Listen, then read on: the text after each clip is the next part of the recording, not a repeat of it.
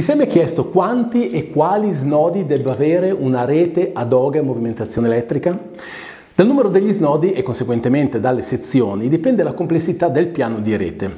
Quanto maggiore sarà il loro numero, tanto più ti potrebbe risultare confortevole durante la movimentazione ed il riposo. E questo perché seguirà meglio i naturali movimenti del tuo corpo. Tuttavia c'è anche chi per esigenze personali si trova meglio su un letto con un numero minore di snodi. Quindi ora non andare subito a cercare la rete con più snodi possibile, anche perché una rete letto per essere completa ha bisogno di soli 4 snodi e 5 sezioni. Certamente le reti con movimentazione con meno snodi rispetto ai canonici 4 saranno di solito anche le più economiche per via della minore complessità meccanica. Ma cosa sono gli snodi della rete? Allora, gli snodi sono semplicemente i punti di congiuntura mobile tra le varie sezioni della rete, un po' come eh, se fossero le cerniere delle ante. Gli snodi permettono la movimentazione nella zona schienale ed in quella delle gambe. Le sezioni sono invece le aree dove sono applicate le doghe che si muovono proprio grazie agli snodi, un po' come fossero le ante, tanto per rendere l'idea. Attenzione dunque a non confondere gli snodi con le sezioni, perché vedo che qualcuno fa ancora questo errore banale, dichiarano le reti a 5 snodi, che in realtà ne hanno 4, perché confondono gli snodi con le sezioni.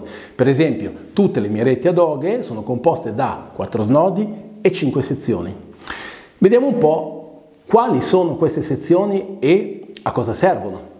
Dunque partiamo dalla testa, dove troviamo la sezione cervicale che serve per sollevare solo la testa e si alza prima che intervenga la sezione di sollevamento della schiena. Di conseguenza, sollevando la zona della schiena si otterrà prima la movimentazione della zona cervicale, a seguire proseguirà la movimentazione di tutta la schiena. La sezione dedicata alla schiena poi può essere accessoriata di ammortizzatori, possono essere a piattelli oppure a molla per dare un maggior comfort nella sezione delle spalle. Più giù possono essere presenti anche dei regolatori per la lordosi lombare, non sono indispensabili ovviamente. La sezione centrale del bacino è l'unica a rimanere fissa e dalla parte equipaggiata da cursori oppure anelli per la regolazione della rigidità lombare. Proseguendo verso le gambe incontriamo la sezione di alzata delle gambe o femorale e troviamo eh, ulteriori snodi per il sollevamento di questa zona.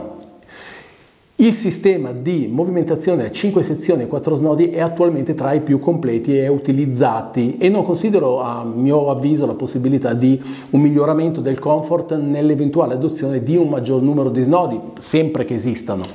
Esiste in commercio invece qualche rete elettrica ad oghe, solitamente di tipo più economico, ma sono poche per la verità, con un numero minore di snodi, spesso sono a due snodi oppure a tre snodi e movimentano solo la schiena, mantenendo fissa magari la zona delle gambe, oppure movimentano la schiena e le gambe ma senza ulteriori snodi. Realizzate in questo modo ne esistono anche di tipo manuale con l'alzata tramite meccanismo a cremagliera. Nelle reti ad oghe con struttura in legno per uso domestico non è prevista la movimentazione a manovella. In genere i due snodi sono una caratteristica normale per le reti ad hoc con movimentazione manuale oppure per le reti ad hoc con movimentazione elettrica ma di tipo un po' più economico.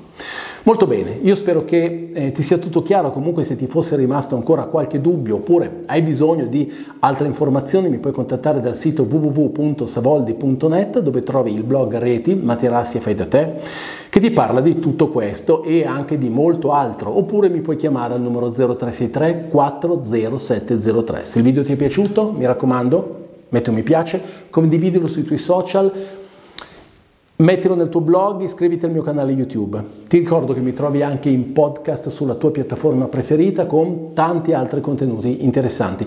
Come sempre, cerca Savoldi il tuo falegname di fiducia. A presto!